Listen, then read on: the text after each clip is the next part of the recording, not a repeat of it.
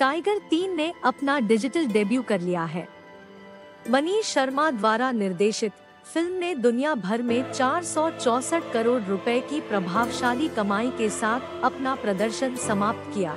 सलमान खान, कैटरीना कैफ और Imran Hashmi starrer tiger तीन अब ओटीटी पर उपलब्ध है।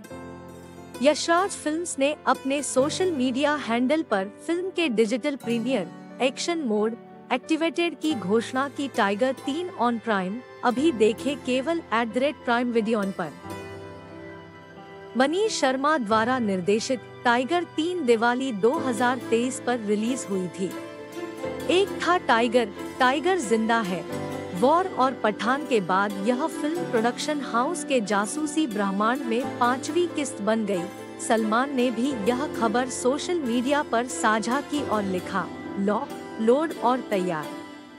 आ रहा है Tiger, film Tiger Salman Khan. उसकी साथी जोया, कैटरीना कैफ और आतंकवादी आतिश रहमान, इमरान हाशमी पर केंद्रित है।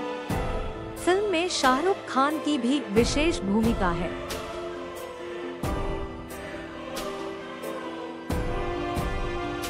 बॉलीवुड से रिलेटेड लेटेस्ट अपडेट पाने के लिए टॉप बॉलीवुड चैनल को सब्सक्राइब ज़रूर करो।